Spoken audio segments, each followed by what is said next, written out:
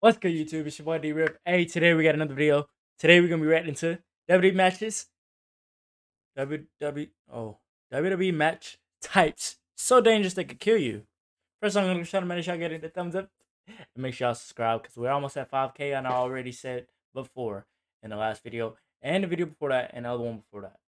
Once we hit 5K, we will be stepping foot into a ring, doing some training, taking some chops, jumping off the top rope basically going to wrestling school. All right. But look, first time, like I said, if it's your first time, subscribe, bro. Just subscribe because we're almost at 5K. And if you want to see me do that, we got to hit this 5K goal before the end of December. And I know y'all can do it because y'all literally did it for 4K and y'all did it for 3K. So I know y'all can do it. But look, without further ado, let's get into this.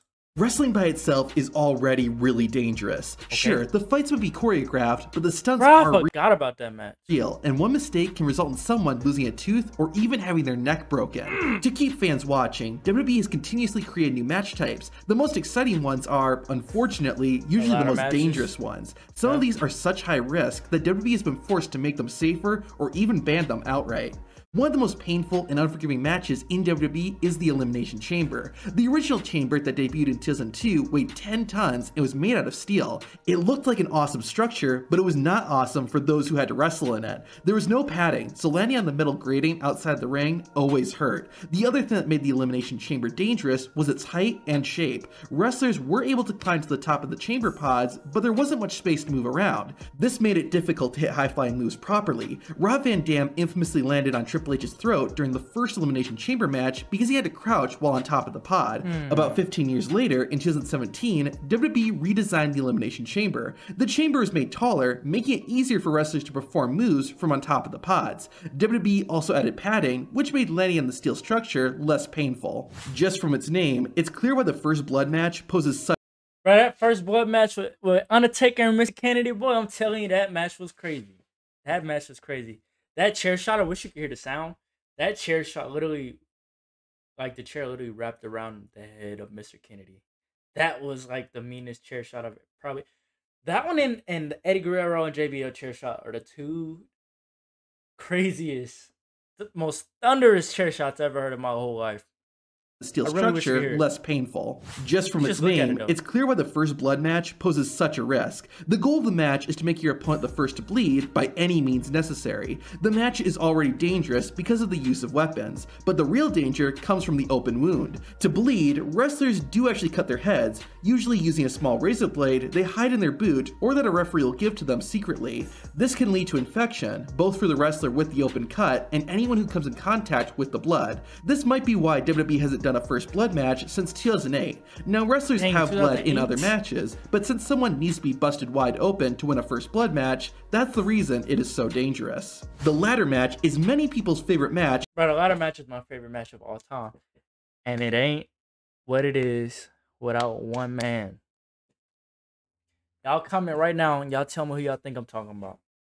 The ladder match wouldn't be right now what it is if it wasn't for one person, bro. I'm not even gonna say matter of fact, I ain't gonna say one person. It's a bunch of people, but in particular for me, it's one person. I'm gonna give y'all a little I'm gonna give y'all a second. Alright, for me, without Jeff Hardy, on my phone fell. Without Jeff Hardy, the ladder match is not what it is. And I say that because he's been in so many ladder matches, and every single one he's been in, he's made it rememberable. I can't even say it. Memorable. There we go. He's made it that every single time he stepped foot in the ring with the ladder. He's either jumped off of it doing something that we're gonna remember. He's either most of the time he's jumping off of it. I'm not gonna lie. Most of the time he's jumping off of it. But that made it so much oh that made it so much more entertaining and it made it better. in all of wrestling. And and what I and, and what I said before when I said more people, it's not just one person, it's, it's multiple. And Christian, the Dudleys and the Hardys. I'm not gonna forget about them for those who are gonna try to kill me, you know. I didn't forget about them. But I'm saying Jeff in particular because he makes the ladder match more exciting. Part of the reason is because of the high risk the match presents. To win a ladder match, a wrestler has to grab whatever is hanging above the ring, usually a championship. While ladder matches can kind of be as dangerous as the wrestlers involved want them to Oh be, my there is always a certain level of risk, simply because you have to climb above the ring to win. I would love Another to be in reason is due to how the ladder matches evolved over the years. Most ladder matches usually involve big, high risk stunts, Mm-hmm. which the fans have come to expect to see. This makes the match less safe, and we see many wrestlers suffer some painful injuries due to spots going wrong. Dean Ambrose got a cut on his head at WrestleMania 31 when he got powerbombed through a ladder outside of the ring. Of course, Joey Mercury's Mm-hmm. horrific facial injury in 2006 shows exactly how wrong a ladder match can go. Yeah. Another popular match type is Hell in a Cell. The ring is surrounded by a giant steel cage, All right. So what the hell in a cell? Yes, I like the original Hell in a Cell look. You know, with it actually looking like a fence, a metal. I said, yeah, a fence, like a fence in your backyard. It looks like a fence in your backyard. I like it better when I go like that. What I don't like is when they painted it red. I don't. That right there just killed it for me. I didn't really like it. I didn't really watch much of those because I didn't really like it.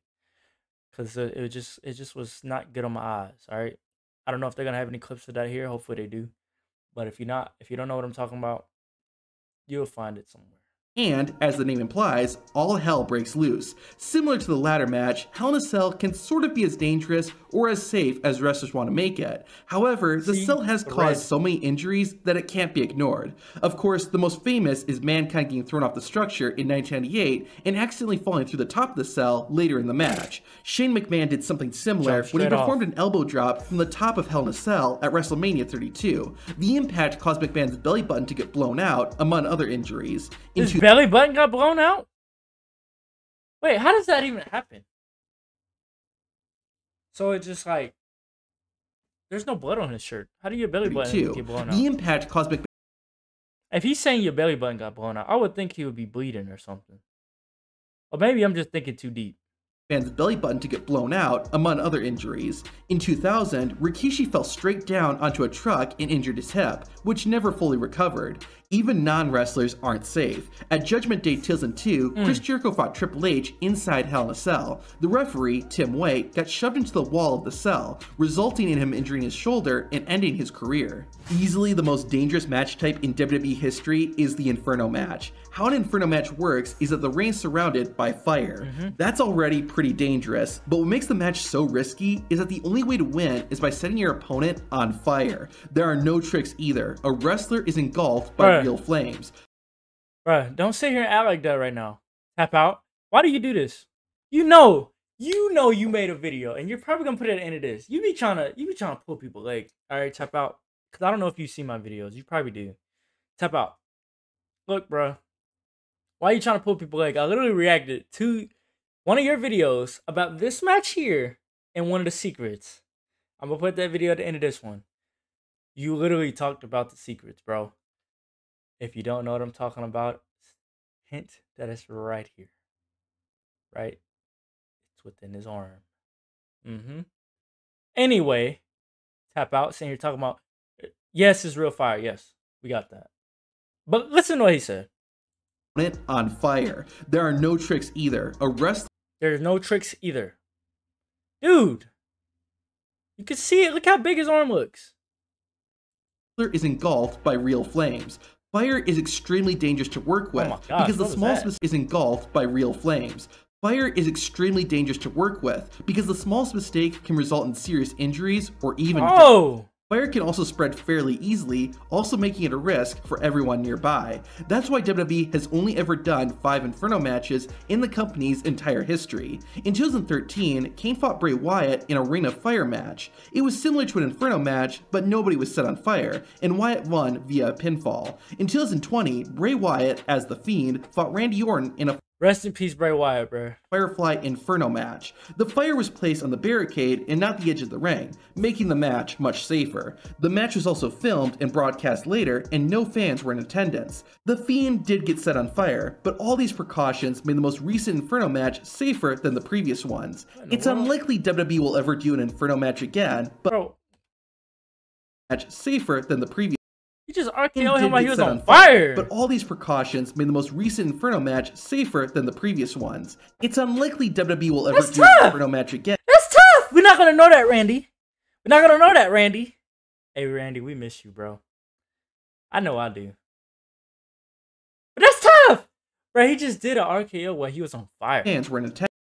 Like I've watched wrestling a lot, but around this time, I wasn't really paying attention to it. I'm not gonna lie, I wasn't paying attention to it around the time where they didn't have fans in attendance because it was kind of boring to me. So I didn't really pay too much attention to it. Yes, I know Bray Wyatt's. You know his. Um, it wasn't really his body. It wasn't really him. But I know the Fiend got burned. But what I'm saying is, I didn't know he got RKO while he was on fire. That's tough. Attendance. The Fiend did get set on fire, but all these precautions made the most recent Inferno match safer than the previous ones. It's unlikely WWE will ever do an Inferno match again, but if they do, it'll likely be similar to what Orton and The Fiend did, or the Ring of Fire match. Which WWE weapons are the safest, and which are the most dangerous? We rank them, and the results will surprise you. That Kalisto thing right there, bruh. Every time I see that, chills. But look, first time come across channel, make sure I gotta hit that thumbs up. Hopefully y'all enjoyed this video. Like this video, subscribe if you're new. It's your boy D man. I'm out.